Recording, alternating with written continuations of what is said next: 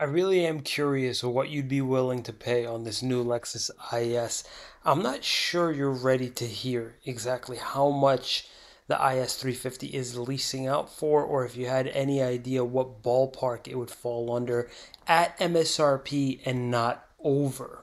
Right now in the United States, there's less than a thousand ISs available, and 570 of them are 350s. The majority of the inventory are 2023, so good luck trying to take advantage of a 2022 offer or lease program that they've got because you probably will not even find a 2022, let alone get it for MSRP.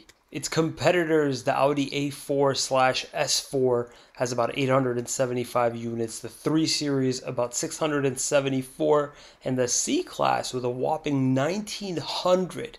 The inventory data that I'm giving you is coming from cars.com. It's not accurate, but it's pretty decent. There was a promotional APR for the 2022, but seeing as though there are pretty much no 2022s left, I wanted to tell you about the 4.49% that's available at 60 months on 2023s. It's actually available up to 72 months as well if you're thinking about financing. That should come in handy because you should definitely not be leasing so assuming that we're going to pick out a 350 and not the 300 because we've got a little bit better chance of getting our hands on one as when we get it as a 350, we've got one picked out for tonight's negotiation guide with an MSRP of 50,250. The lease program is unsightly.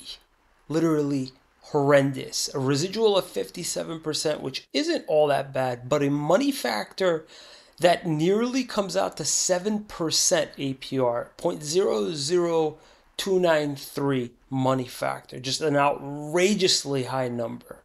Assuming we're paying MSRP for the for this 350 and assuming we're giving just our drive off fees, our dealer fees and taxes up front and assuming we got a pretty decent credit score of about a 720 or more on a 60 month finance our payment would come out to $937 a month, assuming we qualified for the 4.49% APR. And on a 36 month lease at 12,000 miles a year, it would come out to just less than $100 less than that finance payment at 831 a month.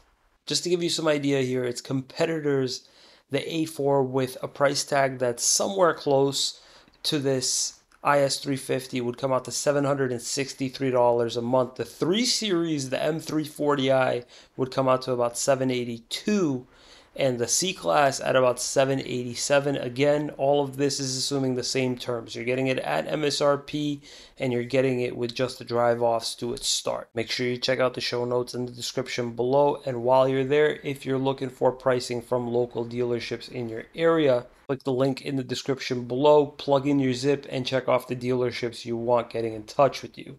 Financing the IS for five years would cost you $5,900 in interest, whereas leasing it for three years would cost you about $7,300 in interest. The total cost of your purchase, not including your down payment or any fees you paid up front, is going to cost you about 60,000.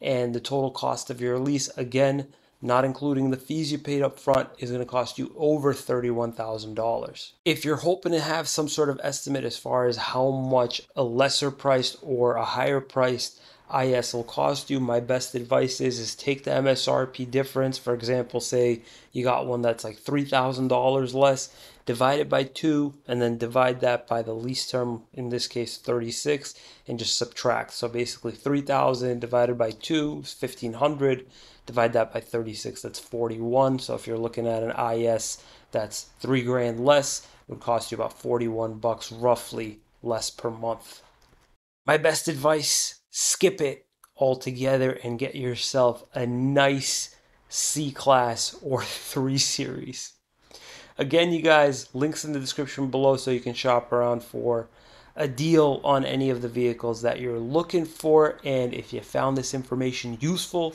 please consider subscribing. At least like the video, will you? Thanks so much for watching, guys. We'll see you next time.